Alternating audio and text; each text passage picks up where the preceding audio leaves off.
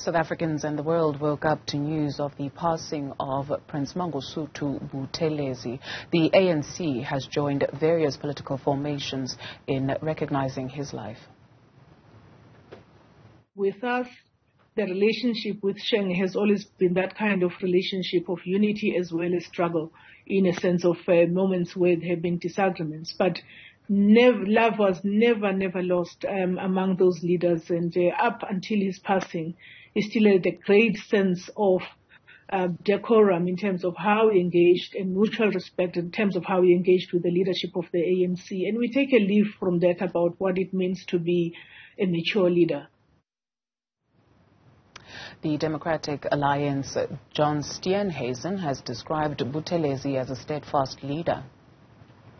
Well, I think it was um, a deep sadness at the loss of an elder statesman and somebody who has been part of our political life um, for decades here in South Africa, um, but also with a sense of relief for his suffering and of his uh, pain that he has been going through recently.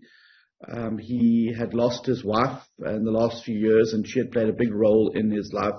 And we know that he had been hospitalized, which must been incredibly frustrating for somebody who has lived an incredibly active and full life uh, for such a long period of time.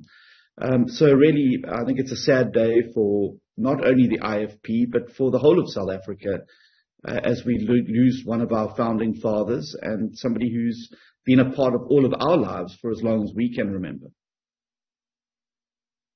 One thing is certain that uh, Buthelezi has played his innings very well. He had ups and downs in, in them, like any other leader. And uh, we wish that uh, the whole nation will give him the respect.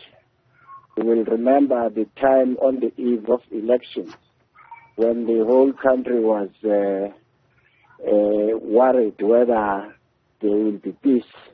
Fortunately, the Fort Hare boys, that is Nkosi Buthelezi and Nkosi Mandela and Nelson Mandela, they, they, they, they pull it through.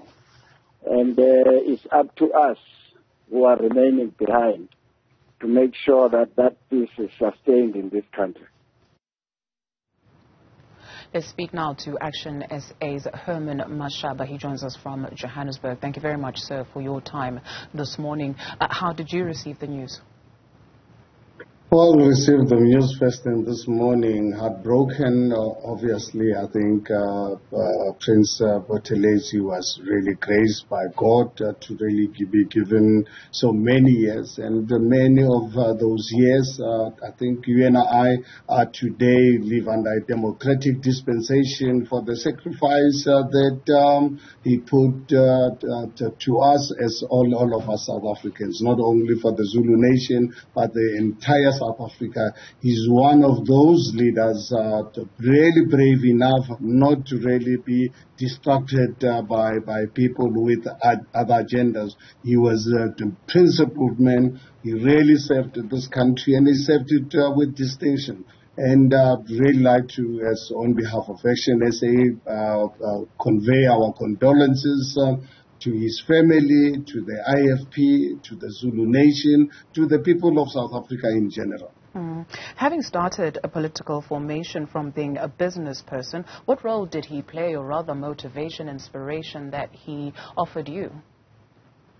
You know, it's interesting uh, to, to really raise this question. I think, you know, I never growing up, I thought I'd one day go into a political environment.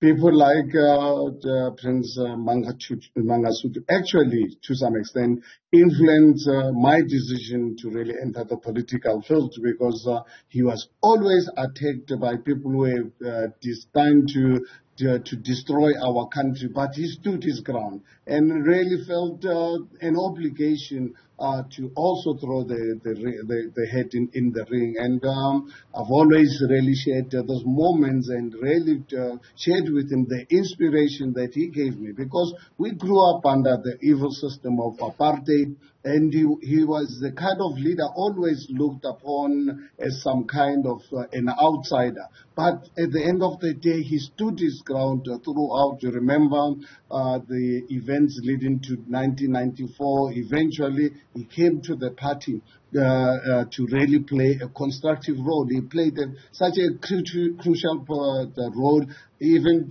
during my three years as a mayor of the city of Johannesburg. He used to come and visit me, give me a call. Uh, you remember a few years ago when I was the mayor, uh, when I took a, tough decision to close the M2 um, because of uh, the cracks in, in, in, in, some of the bridges. When, I, um, uh, when we completed uh, the construction, I invited him to the official uh, opening and he graced uh, the occasion to really give me the, the support and appreciated the tough decision that I, I, had to take. And that was the last physical contact I had with him. And I still remember, I actually have a photo of, of us in, in, in um, in green, in, in uh, the uh, orange overalls of uh, the city of Johannesburg. Um, and really, the, the man was there to say, please go ahead, make sure that you make us proud as a city and, and the country. Thank you so much, sir, for your time this morning. Uh, Action SA leader Herman Mashaba. Let's speak now to build One South Africa leader Mmusi Maimane, who worked closely with Buthelezi in Parliament for a number of years. Thank you very much, sir, for your time this morning. Uh, perhaps let's start with that, how you received the news. Yeah, good morning and good morning to fellow South Africans. I think uh, it is indeed a sad day. I uh, I knew Prince Mangosuthu Buthelezi uh, in my interactions with him in Parliament.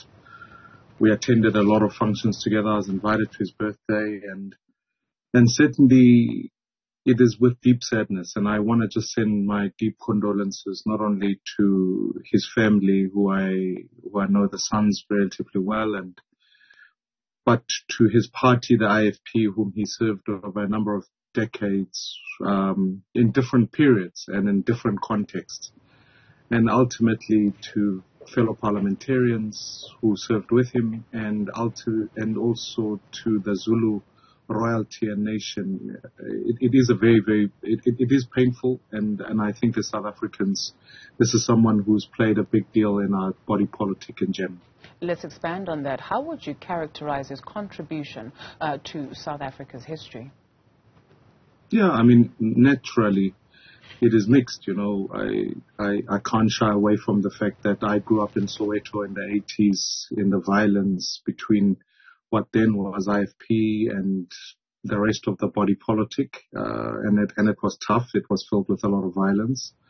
I also can't dismiss the fact that when in a post-democratic South Africa, I can remember instances when in parliament things used to get a bit out of order. He would be the voice of moral reasoning. I can't dismiss the fact that when we needed to negotiate coalitions in various parts, whether it was in Johannesburg, etc., that he was certainly clear on his views. And ultimately, I, I think, you know, like any other leader, in different times they played different roles. And to characterize it as one period would be a miss, but to note the fact that over a period of time, this was a South African who, at least in my interactions post-democratically, served ruthlessly and was very, very disciplined about the things that need to be done for this country. And for that, I think, certainly as a parliamentarian, owe him a great deal of gratitude.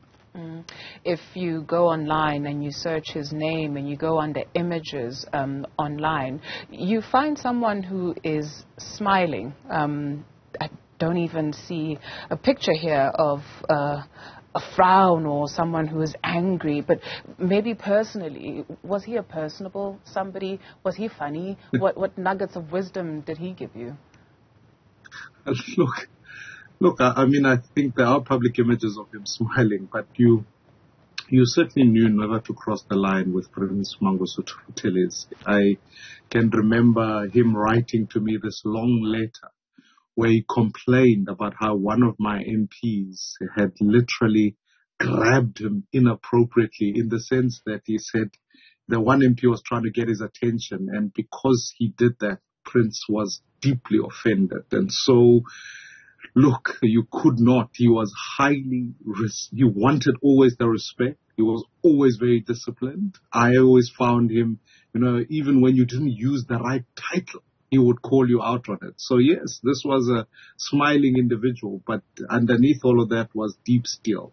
I attended a wedding with him. That'd probably be the friendliest interactions we had. And so when we were at the wedding, he would laugh and joy us. And like a grandfather, you almost treated him like that. He was this grandfather who would laugh but very strict because when things didn't go according to the way he wanted them to go, it certainly call you to order at any given moment. So, so we always had this mixed interaction with him. But, um, but yeah, uh, he certainly wanted to.